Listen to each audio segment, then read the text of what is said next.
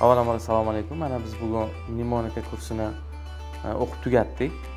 Biz juda yam ko'p narsalarni o'rgandik mnemonikada. E, xotirani qanaqa imkoniyatga ega ekanligini tushunib yetdik. Oldin unaqa narsaga bilmas edik oldin. Yodlagan narsamiz tez esdan chiqib qolardi. Hozir o'rgangan mnemonikada biz oz fursatda yodlayapmiz va ko'p muddatga shu narsani esda qoldirishga harakat qilyapmiz.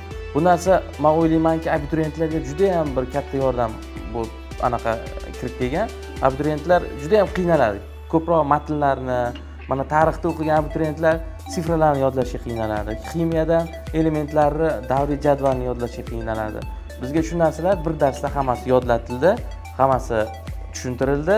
Biz juda yam xursandmiz mnemonikani o'rganganimizdan xudo xohlasa o'zbekistonni kelajagiga o'zimizni hissamizni qo'shishga harakat qilamiz.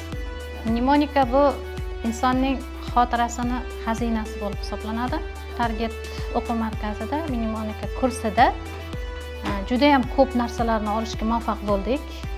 Demak e, butun bir qiyin e, matnlarni tezkor o'qish keng aytaylik ko'lamli axborotlarni esimizda saqlab qolishga va raqamlarni esimizda saqlab qolishga muvaffaq bo'ldik. Mnemonika bu hayotdagi barcha murakkab jarayonlarni qulay oson tezkor holatda xotirada saqlash imkoniyatidir.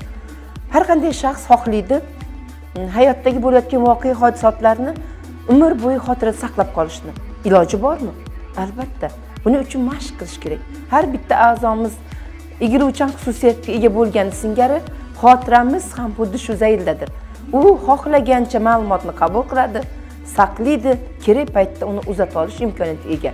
Uni faqat biz bila olishimiz mashq qilishimiz va doimiy uni tadbiq qila olishimiz kerak. Aynan bu holatlarni bizda amalga tadbiq qilishda yordam beradi mnemonika